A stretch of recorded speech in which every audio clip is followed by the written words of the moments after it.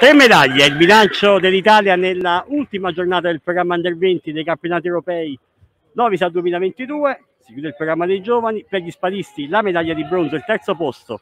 Qui a poco la cerimonia di premiazione. Non avete ancora la medaglia al collo, Filippo Armaleo, ma avete l'adrenalina sicuramente di quella che è stata una gara bella, in cui sicuramente mi dirà che vi mancherà qualcosa, forse una stoccata quella della semifinale con la Svizzera, però si torna a casa con un bronzo che quanto vale?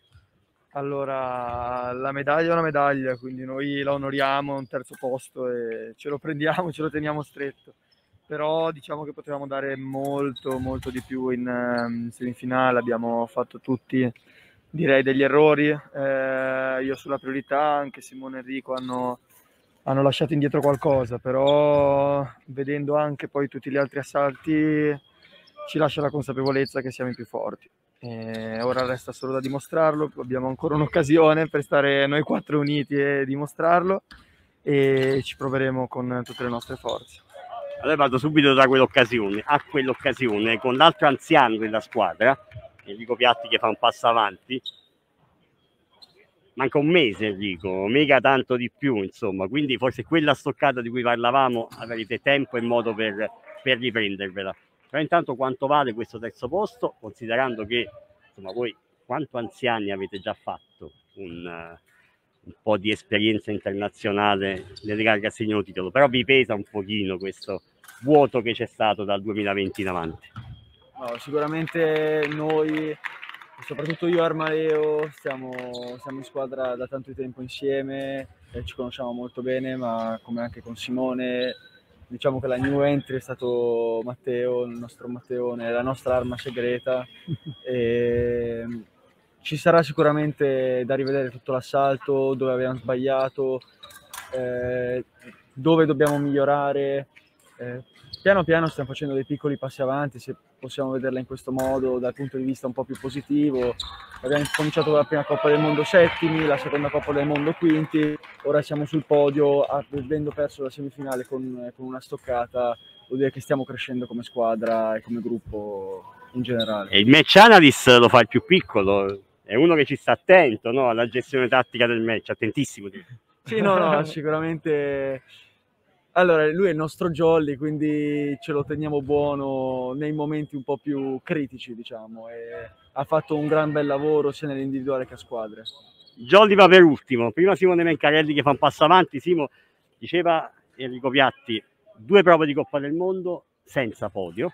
Il podio oggi, nell'occasione fino a questo momento più importante, no? perché siamo a un campionato europeo, e quali aspettative, quali margini. Poi facciamo anche un passo indietro agli assalti che abbiamo visto, ce n'è stato uno in particolare contro l'Estonia, in cui credo che di poter dire che siete stati anche molto lucidi, molto bravi nella lunga pausa che c'è stata a non perdere mai di vista l'obiettivo della vittoria. No, ma infatti diciamo che siamo praticamente tutti contenti, magari tra un'oretta, due, ancora di più, eh, proprio perché questa è stata la prima medaglia di quest'anno e sappiamo che eh, possiamo dare di più perché una staccata è veramente poco. Eh, sì, abbiamo gestito bene tutti gli assalti, infatti per questo sono contento. E poi la medaglia del terzo e quarto era difficile per noi mentalmente, anche perché dopo un assalto così non era facile e niente. Quindi, cioè, giustamente tra un'ora saremo più contenti di adesso.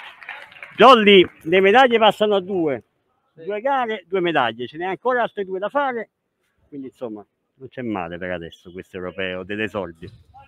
Beh, speriamo ovviamente di raddoppiare le medaglie con le prossime due gare. E diciamo che nella gara squadre sono molto fiducioso perché la squadra cadetti è molto forte, nell'individuale sarà dura, però so che lì possa arrivare in fondo in fondo. Quindi speriamo di riuscire a fare un miracolo, dai.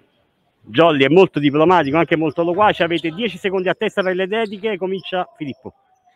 Io dedico a tutti quelli che ci hanno fatto allenare in questo periodo di, di Covid e alla mia famiglia, al mio club e al gruppo sportivo.